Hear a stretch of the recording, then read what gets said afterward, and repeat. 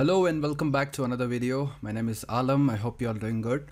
So in this video, I'm gonna show you how to fix error 404 not found in WordPress.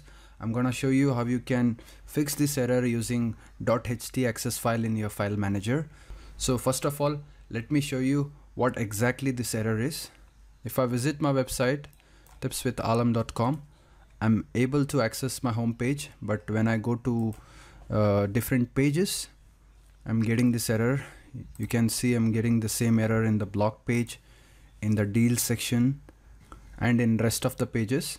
So this is a server error because uh, when you have a .htaccess file in your server, and if there are some changes or if there are some modification done to it, uh, you are likely to face this issue.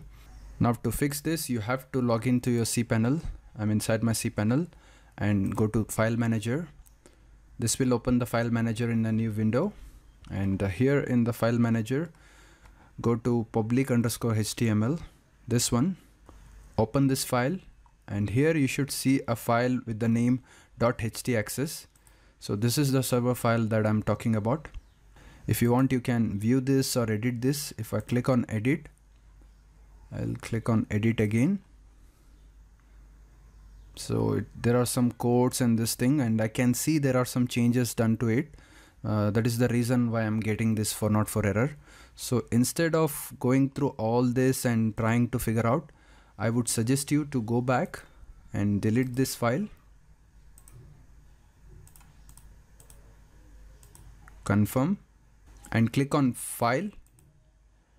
Give the name as .htaccess click on create. Click on create new file. Now our new htaccess file is created. Right click and go to edit. Click on edit again. Here you have to write the default htaccess code. If you don't know the default htaccess code just open a new tab and type htaccess default code and hit enter. Open this first website from WordPress.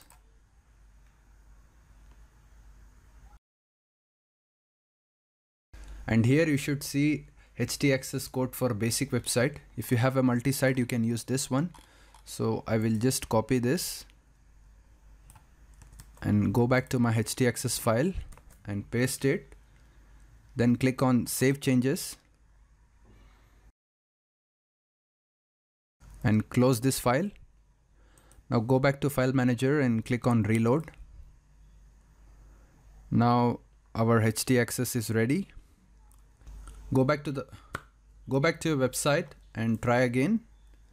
I'll go to blog session and you can see I'm not getting the same error again. I can open all these pages without the 404 page not found error. So that's pretty much about it. I will give a link to this website in my description. You can find it from there.